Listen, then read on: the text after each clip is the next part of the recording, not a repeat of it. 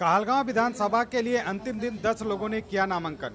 पूर्व भाजपा जिला अध्यक्ष लीना सिन्हा तथा भागलपुर सांसद अजय मंडल के भाई अनुज मंडल ने उम्मीदवारी ठोक सीट को बनाया दिलचस्प। कहलगांव 155 विधानसभा क्षेत्र के लिए प्रथम चरण के नामांकन प्रक्रिया के अंतिम दिन भाजपा के पूर्व जिला अध्यक्ष लीना सिन्हा तथा भागलपुर सांसद अजय मंडल के भाई अनुज मंडल सहित कुल 10 लोगों ने अपना नामांकन दाखिल किया। बता दें कि बुधवार को भी पाँच उम्मीदवार ने अपना नामांकन कराया था। नामांकन पत्र दाखिल करने वालों में भारतीय जन क्रांति दल डेमोक्रेटिक के रामचंद्र मंडल, भारतीय सब लोग पार्टी के गुलाम अहमद, बीएसपी के कृष्ण कुमार मंडल, एनएसपी के Anuj Kumar Mandal, the Plurals party के विजय कुमार यादव, जन अधिकार पार्टी के अनिल यादव, निर्दलीय के रूप में भोला हरिजन, लीना सिन्हा, सदानंद सिंह, महेंद्र तांती ने अपनी अपनी उम्मीदवारी ठोकी। साथ ही बीजेपी के पवन यादव ने तीसरे सीट में आज फिर अपना नामांकन पत्र दाखिल किया। बता दें कि पवन यादव ने बुधवार को भी दो सेट में अपना नामांकन पत्र दाखिल किया था। नामांकन के अंतिम दिन दो उम्मीदवार चर्चे में रहे, अनुज कुमार मंडल और लीना सिन्हा अनुज कुमार मंडल भागलपुर के वर्तमान जदयू सांसद अजय मंडल के छोटे भाई हैं, जिन्होंने एनसीपी से अपना नामांकन दाखिल किया है। वहीं लीना सिन्हा भाजपा के पूर्व जिला अध्यक्ष रही हैं साथ ही कहलगांव पूर्वी क्षेत्र से जिला परिषद की सदस्य भी हैं, जिसने निर्दलीय प्रत्याशी के रूप में अपनी उम्मीदवारी ठोककर कहलगांव विधानसभा सीट को दिलचस्प बना दिया है। नामांकन पत्र दाखिल करने के बाद पत्रकारों से बात करते हुए लीना सिन्हा ने कहा कि पिछले पंद्रह वर्षों से सेवा कर रही थी। मैंने जनप्रतिनिधियों के रूप में कई काम किए हैं। पूरा विश्वास था कि पार्टी उनके कामों को देखते हुए उन्हें यहाँ से टिकट देगी, लेकिन ऐसा नहीं हुआ। इसलिए निर्दलीय उम्मीदवार बनकर चुनावी मैदान में अपना किस्मत आजमाने का फैसला किया है। मैं भारतीय जनता पार्टी की पिछले पंद्रह वर्षों से सेवा कर रही हूँ। उसके बावजूद भी मुझे बहुत उम्मीद थी। मैं पिछले कई दिनों से लगातार संघर्ष कर रही हूँ पार्टी की सेवा करते हुए। तो इस बार सोचा था मैंने कि मुझे यहाँ कहलगांव की जनता की सेवा करने का मुझे अवसर मिलेगा। लेकिन बहुत निराशा के साथ बहुत दुख के साथ आज मैंने एक निर्दलीय प्रत्याशी के रूप में कहलगांव विधानसभा से नॉमिनेशन दिया है। कितने टिकट काट लिया मैं टिकट किसने काटी ये तो मैं नहीं जानती, क्योंकि मेरे आदर्श, आदरणीय नरेंद्र मोदी जी है। मैं उनके आदर्शों पर चलती हूँ, उनकी विचारधारा को और भारतीय जनता पार्टी के साथ कदम से कदम मिला करके मैं काम करती रही और उनके आदर्शों का पालन किया। मुझे प्रधानमंत्री जी मेरे आदर्श हैं और आगे भी रहेंगे। लेकिन पार्टी के कुछ शीर्ष नेतृत्व में ऐसे लोग बैठे हुए हैं जो किसी व्यक्ति विशेष को देख करके या कुछ और क्या कारण रहे वो मुझे पता नहीं। लेकिन मेरी कर्मठता और मेरे कार्य पे ये प्रश्न चिन्ह लगा है कि ये कमज़ोर महिला है और ये चुनाव नहीं जीत पाएँगी। जबकि मैं सभी को बताना चाहती हूँ कि मैं कहलगांव पूर्वी क्षेत्र से जिला परिषद की सदस्य हूँ, अभी निर्वाचित सदस्य हूँ। और एक जनप्रति के जनप्रति के, जनप्रतिनिधि के रूप में मैंने बहुत काम किया है। इस क्षेत्र की समस्याओं को मैं हमेशा से बड़े बड़े मंत्रियों के पास में, एचआरडी मिनिस्टर के पास, विक्रमशिला के लिए और कई सारी समस्याओं के लिए, रेल के लिए, पीयूष गोयल जी से सबसे मिलते आई हूँ और समस्या के समाधान के लिए कुछ न कुछ विकल्प ढूंढते आई हूँ।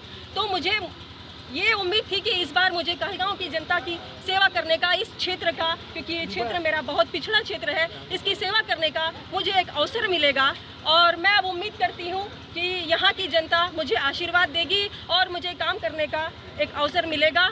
इसके लिए मैं आप सभी की बहुत बहुत आभारी। गाँव में भाजपा के लिए खतरे की घंटी है आप अब ये मुझे नहीं पता मुझे ईश्वर और जनता के ऊपर जनता जनार्दन जैसा भी मुझे समर्थन देगी, मैं उसको सहर्ष स्वीकार करूँगी, लेकिन यही मेरी एक प्रार्थना है कि एक महिला को कमज़ोर ना समझे कि महिला, जब मैं हर जगह अपनी बात को रख सकती हूँ तो आपके इस क्षेत्र का विकास करने के लिए मैं कटिबद्ध हूँ। और मुझ पर एक बार आप लोग विश्वास करके देखिए और मुझे जिता करके उस विधानसभा के सदन में पहुँचाइए, ताकि मैं इस क्षेत्र का विकास कर सकूँ। अरे पार्टी के नेताओं की बात आपने कहा। क्या लगता है कि टिकट बिक्री हुआ धन बल का प्रयोग हुआ है क्या? इसका कारण मैं नहीं बता सकती हूँ क्या कुछ भी हो सकता है। जो कुछ लोग मैं सभी की बात नहीं करती हूँ कि सभी पार्टी के लोग खराब हैं लेकिन पार्टी में कुछ लोग ऐसे हैं जो कार्यकर्ताओं को की अनदेखी करते हैं और उनकी उपेक्षा करते हैं। तो ये कहीं दूसरे पार्टी की कोई कार्यकर्ता क्या नेता नहीं बन सकता? कार्यकर्ता मजदूरी करता है झोला उठाता है धरना प्रदर्शन करता है श्रद्धांजलि और पुण्यतिथि मनाता है तो उसको भी उसका अधिकार मिलना चाहिए। बाहर से आयातित नेता या कुछ इस तरह के लोग अ, अ, अनर्गल बातें करके या अचानक से जो पार्टी में आ जाते हैं उनको सिंबल मिल जाता है और वो प्रतिनिधित्व करते हैं चाहे वो, वो वे लोग योग्य हैं या नहीं ये देखना चाहिए। वो इस योग्य है या नहीं वो जनता के लिए काम करेंगे या नहीं करेंगे ये देखना चाहिए शीर्ष नेतृत्व को। वहीं एनसीपी के उम्मीदवार अनुज मंडल से जब पत्रकारों ने पूछा कि आप संसद के छोटे भाई हैं क्या आपके भाई आपके लिए कैंपेन करेंगे? तो उन्होंने कहा कि जिस प्रकार हम अपने गठबंधन से गद्दारी नहीं कर सकते, उसी प्रकार हमारे भाई भी अपने गठबंधन के लिए काम करेंगे। एनएचएटी के खास्ता हाल पर उन्होंने कहा कि 22 किलोमीटर की दूरी सात दिन के अंदर ठीक हो जाएगा। उन्होंने कहा कि सड़क वही है, अधिकारी भी वही हैं, नेता भी वही हैं, जो सड़क इतने दिनों तक ठीक नहीं हो सका वह सात दिन में पूरा होने वाला है। जनता को इस पर विचार करना चाहिए। किस दल से नामांकन का पर्चा भरा? हम एनसीपी से नामांकन का दल दर्जा भरे हैं। पर्चा भरे हैं। एमपी साहब के भाई हैं आप वो भी एनडीए के घटक दल हैं।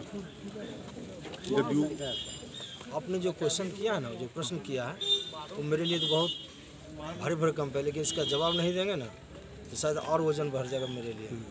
जवाब दे ही दीजिए। एमपी सबका राजनीति करने का जो तरीका है उस तरीके से हम अलग भिन्न ढंग से राजनीति करना चाहते हैं। इसीलिए हमने अपना पर्चा भरा वो टिकट दिलवाने में विफल रहे इसलिए आप निर्दलीय एनसीपी से पर्चा दाखिल किया। अब रही बात जहाँ तक कि वह अपने स्वाभिमान को जोगते हुए मेरे लिए अधिक प्रेस स्क्रीनिंग को नहीं किए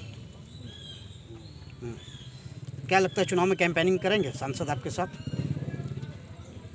हम भी जिस पार्टी से जुड़े हैं हम उससे गद्दारी नहीं कर सकते। हैं इसलिए गठबंधन के साथ वह भी गलती नहीं करेंगे इसलिए वह मेरे लिए काम नहीं करेंगे। आपके लिए काम नहीं करेंगे। जीत के प्रति कितने आश्वस्त हैं आप? क्योंकि लगातार आप काम भी किए हैं इस इलाके में भाई का भी चुनावी कमान आप संभाले थे। लोगों का हाव भाव यानी कि लोगों का जो चाहत है वो तो मैंने पंद्रह वर्ष में हल्का फुल्का जहाँ हैं उस औकात के हिसाब से मैंने उनके साथ किया है। और हमको लगता है कि जब इस समय मैंने उनका इतना किया है हमको साथ बहुत ज़्यादा मिलेगा। भाई सांसद है एनएच की दुर्दशा बहुत ही दयनीय है।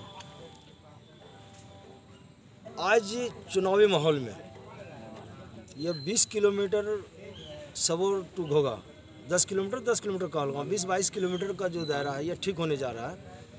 यह 10 तारीख से 17 तारीख तक में पूरा किया जाएगा। और आज अधिकारी भी वही हैं सरकार भी वही है सड़क भी वही है। आज सात महीने से ठीक नहीं हुआ रहा, सात दिन में ठीक होने जा रहा है। ये जनता इस पर विचार करेगी, ना कि हम।